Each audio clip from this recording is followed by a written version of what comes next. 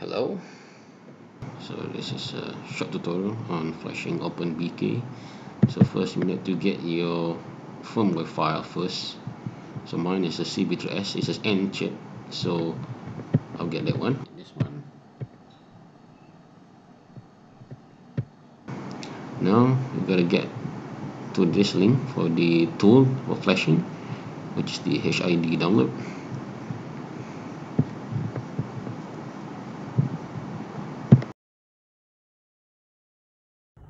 so this is a CB3S device. I've already connected all the pins there. We got the uh, the the ADC pin here, ground pin, and you got the TX and RX. So be sure to just refer to the what do we call that the TR docs for your for your chips. Anyway start flashing it.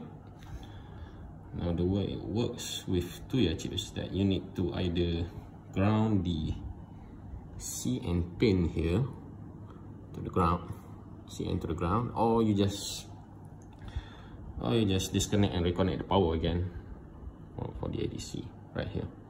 I'll show you how to do that so now this is the command line you need to use. So I have n device so I'll, go, I'll use the first command here.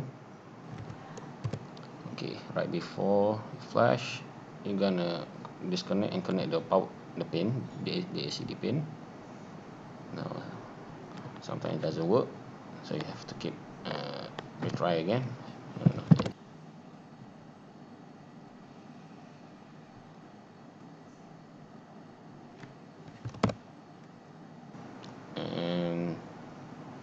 third time's the charm.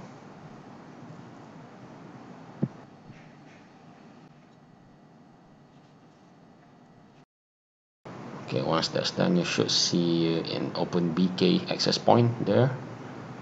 So you connect to it.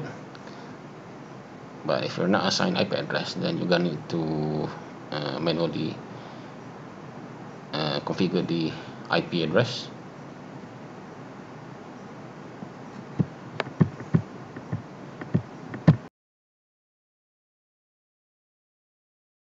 just go to 192.168.4.1 this is the home page for OpenBK now you see these two toggle relays because I already set up this device before this. So this is where you can change anything in the config. The MQTT, the Wi-Fi and a bunch of other settings. For the module that's where you can assign the pin which one is relay, the LED or the buttons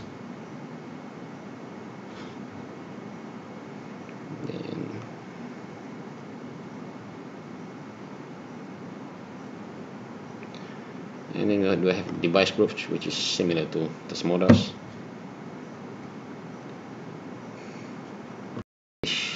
you can go to launch web applications.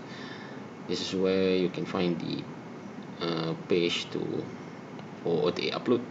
So this is where you can just drop the RBL file. And that's it